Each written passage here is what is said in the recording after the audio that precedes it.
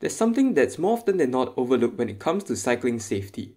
That is infrastructure design. In this video, I'll shed light on the practices done in my country over the past few years and explain why more emphasis needs to be placed on designing good infrastructure to improve safety. Safety can be managed in many ways, but to find out what factors are most crucial to safety, I decided to look at practices done so in the construction industry, where any slip of safety can result in serious consequences. A common visual that I find is this ice kacang, better known as the hierarchy of controls. This pyramid shows the different levels of eliminating or reducing danger with varying effectiveness. The least effective being PPE, and the most effective being physically removing the hazard. I found this pyramid rather interesting as it could be applicable in how we manage the safety of mobility on large scale, in particular, cycling. Here's how it's done so far. In the past few years, the large focus on improving safety is limited to the two bottom tiers. Singapore's Active Mobility Panel proposed the mandatory helmet law, which was gazetted in 2019, and active mobility enforcement officers have since been on the road to catch users flouting rules. These people then receive free photography sessions with promotions on the LTA's social media branches, which gain much adoration from the public. This cycle first started with e-scooters, e-bikes, and now regular bicycles. Despite the good intentions to improve safety, records have shown that not only was safety not improved, these modes of transport soon died out from popularity. Cycling seems to be next on the butchering list, and I cannot stand seeing various modes of useful, practical mobility options going through the same cycle of mismanagement, only to be seen as a thing of the past a few years later. So what are the current plans on hand to improve safety?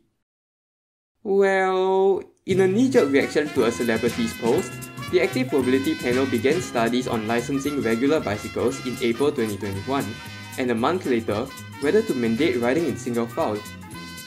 These measures again fall in the second lowest tier in the hierarchy of controls. To make things worse, all these are taking place while there has been no talk on mandating a minimum passing distance, which sadly shows how out of touch the panel is with reality. On the other side, there are plans to expand the off-road cycling infrastructure network, the LTA has set a target in 2019 to have 1,000 kilometers of cycling paths by 2030, double its present claim strength of 440 kilometers. Off-road cycling infrastructure is supposed to keep riders safe by eliminating the danger of motor vehicles, but to date, they don't seem to be holding up too well. Here's why. The design of cycling infrastructure is rather inconsistent. Sometimes it's closer to buildings, at other times it's closer to the road, Sometimes it's on the left side on the road, and other times on the right. This causes mental fatigue as riders need to constantly stop to find directions and is dangerous due to the increased number of conflict points.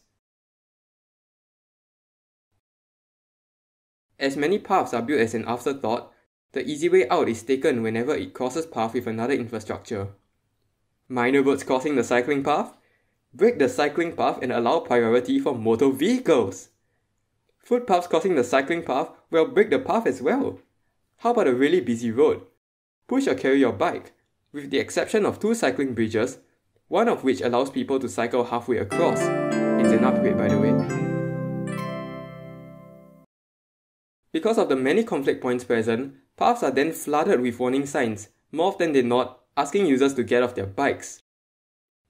This particular path in Simei requires users to get off every 100 meters cycled, which makes me wonder, is this cycling infrastructure or get off your bike infrastructure? Where at the end of the day, such infrastructure projects are so unattractive that there are people who actively avoid such places by riding on the road adjacent to it or planning detours to avoid the hassle of carrying their bike up flights of stairs. If such things are happening, why are we making such terrible paths which aren't comfortable to ride on in the first place? I then realized that there are actually codes of practice when it comes to such infrastructure, which are found in this document published by the URA. I found that there are some fundamental design issues inherent in the guide, which probably explains why infrastructure built is so crappy. But before we get to those issues, we first need to understand two important characteristics of human beings. One, human bodies are not made to withstand the impact of collisions with motor vehicles, and two, humans make mistakes, unintentionally and intentionally. Infrastructure designed for humans will therefore take into account those two basic factors. So what about Singapore? Firstly, there is no safe passing distance factored into our infrastructure design. The URA haphazardly adopted SUSTRANS standards for cycling infrastructure, but clearly left out safe passing distance. SUSTRANS standards have already been criticized for being too inadequate, and we've only taken it a step lower. This results in the minimum width of bidirectional cycling paths being just 2 meters wide. There is literally no safe passing distance included at all. This means that people have to cycle in a near perfect manner to avoid hitting each other, which is potentially dangerous at a combined speed of 50 km per hour. This is why many people cycling feel the need to veer into the footpath just to pass each other. Oh, did I forget to mention that these paths are often placed right next to footpaths? On regular footpaths, wheelchair users have barely enough space to pass each other. But when the cycling path is positioned next to the footpath, somehow corners can be cut and people are then expected to veer into the cycling path just to pass each other. Obviously, we'll never build a footpath too narrow so that the road is used to negotiate maneuvering space required by pedestrians, including wheelchair users, for obvious safety reasons. But cycling safety, meh. Such thoughts in the planning stage completely defeats the purpose of having a segregated path. Walking doesn't feel comfortable, and people cycling need to constantly slow down to avoid hitting people walking. Both parties are given a false sense of security along the thoroughfare. In terms of future proofing, there doesn't seem to be much done. Based on CROW standards for cycling infrastructure, 2.3 meters is the minimum width to handle 0 to 50 people cycling per hour during peak periods. In many areas with cycling paths, this number is often exceeded, which means that not only are newly built paths inadequately designed for the future, they fail to support the current demand. All these factors mean that not only are many pieces of cycling infrastructure uncomfortable to use, they are also unsafe. But perhaps it isn't that bad since that's just the minimum standard and things will be better in reality, right?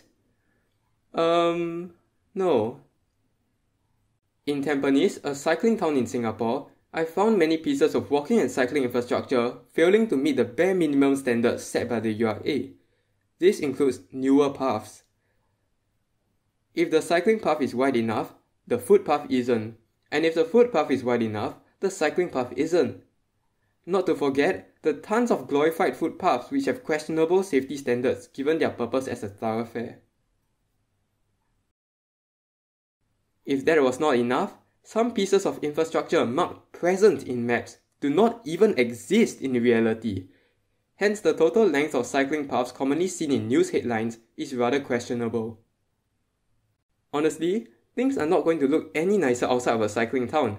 Like, seriously, this bidirectional path in Sembawang is only 90 centimeters wide. Hence, when paths are inadequately designed for the present and the future, Accidents will come as no surprise. When it does happen, there's this tendency of jumping straight to fault finding with the user behavior, hence the popularity of the term errant rider. But what many glance over is the fact that many of these accidents could have been prevented if the infrastructure was adequately designed for human beings. To sum up, cycling infrastructure in Singapore isn't that great yet. Many paths are built haphazardly seemingly with the goal of quantity in mind. For the total length of cycling paths can allow politicians to claim measurable success 440 kilometers to 750 kilometers, 1,300 kilometers by 2030. Is it true success if such infrastructure projects are not effective? Bringing back the hierarchy of controls, we need to shift our focus from solely condemning user behavior to focusing on the bigger picture on how infrastructure shapes user behavior. While it is impossible to eliminate all accidents, it is possible to prevent them from occurring through safer designs. Such designs will often involve more time and money, but since the end goal is to have a car-lite nation, well-designed infrastructure must be a priority, and we should not settle for cheap, crappy, substandard, and dangerous cycling infrastructure. While enforcement to improve safety seems to be done on a political basis and can be a temporary fix, well-designed infrastructure is permanent.